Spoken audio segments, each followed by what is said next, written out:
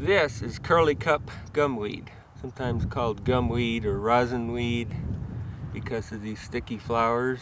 These uh, are composite flowers, so it's made up of female flowers and male flowers actually in the same flower head.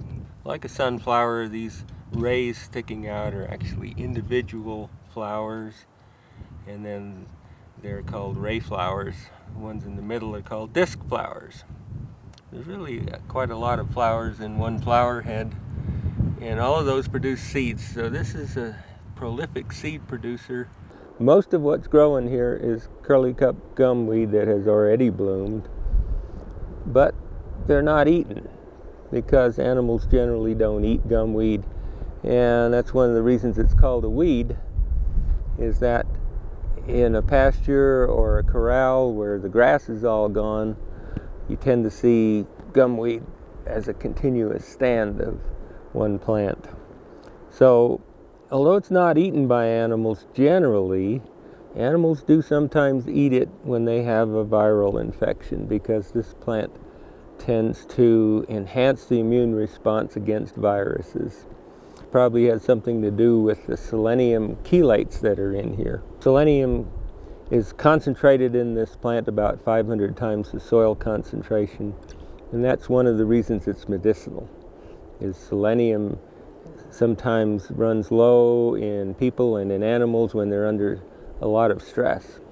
And when it does you become more susceptible to infection.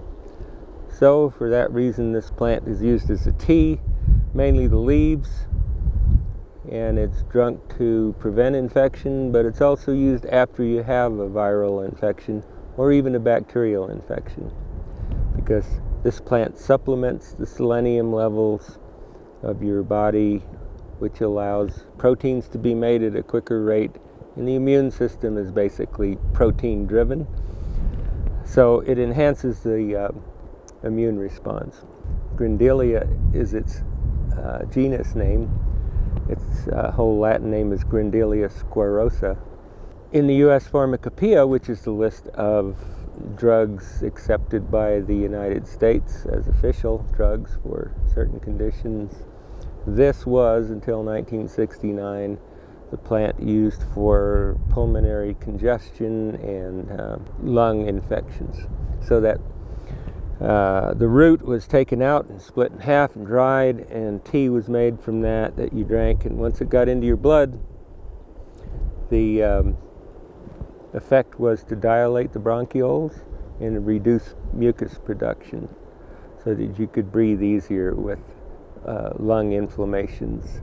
And it was a treatment for infections also because there is an antibacterial and antiviral effect of this plant.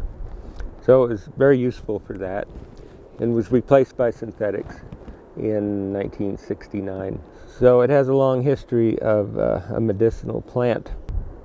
What it was probably used for most commonly is to treat venomous bites and stings of animals, including insects. So bee stings, wasp stings, ant bites, all associated with formic acid that's very irritating and can cause allergic reactions, are treatable with the gum that's on these flower heads.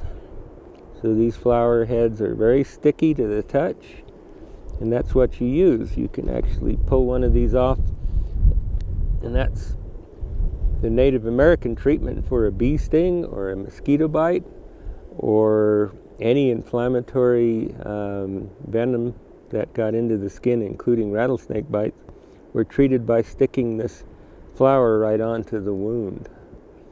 And it stays there on its own.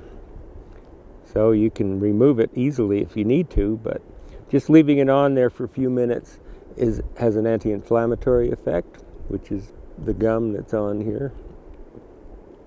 Um, plus it has a high level of selenium chelates, which topically stimulate the immune response.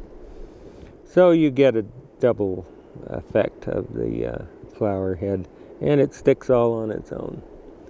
So you could treat mosquito bites that way if you have a reaction to that.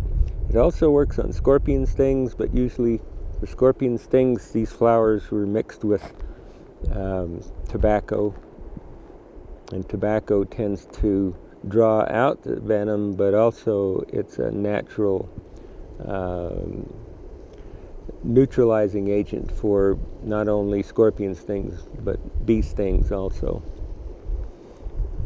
So those were the uh, first aid effects of, of this plant, which involves the gum. The leaves were used for a selenium supplement to strengthen the immune response, and the roots were used as a decongestant and a bronchodilator for lung infections.